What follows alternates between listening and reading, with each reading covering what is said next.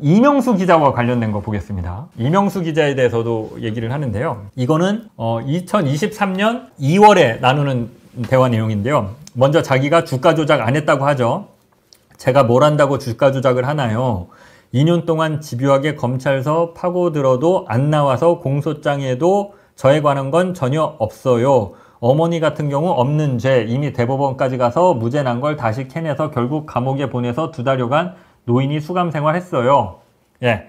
아, 우리는 너무 너무 결백하게 살았는데 정치 탄압 받아서 예, 검찰에서 없는 죄 만들어서 지금 어머니 감옥 보냈다 지금 이렇게 얘기하고 있는 거고요. 그 정도인데 제 걸 어떻게 하든 엮어서 넣었겠죠. 먼지 털만큼이라도 있으면 끔찍한 탄압 속에 있습니다. 제가 마음의 병으로 거의 3년간 누워 있어요. 공황 장애 및 불안감 등등으로 약으로 버텨오고 있어요.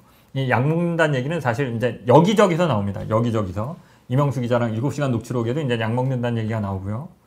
음, 죄를 짓지 않으면 약 먹을 일이 없었겠죠. 예. 아파서 약을 먹으면 정신이 어질해 잠시 양해를 한 걸 그렇게 얘기했더군요. 최정 목사가 애초부터 이명수 기자와 소통하는 게 좀 무리였어요.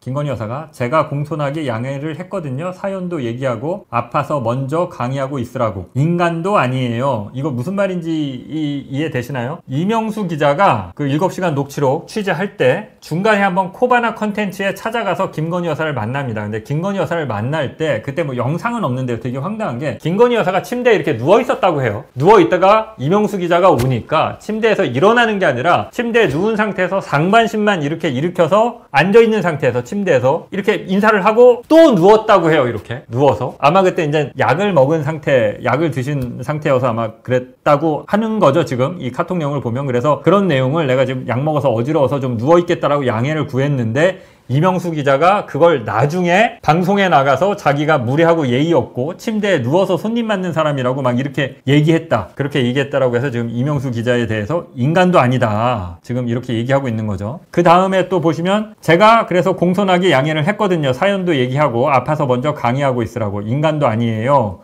제 몰골 보고서도 그때 뭐 화장 안 하셨었나 보죠. 엄마가 구속 당시여서 제가 정신이 없었죠. 서울의 소리에서 모든 거짓을 한 거라서 저라도 나서서 고, 고소하려고 정신이 없었죠. 네.